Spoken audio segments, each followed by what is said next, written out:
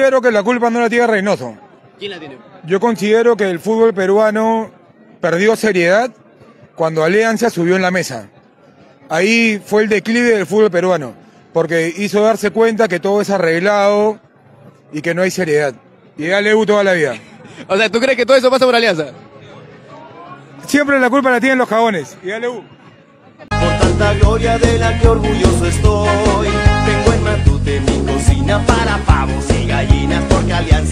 tenemos que ganar.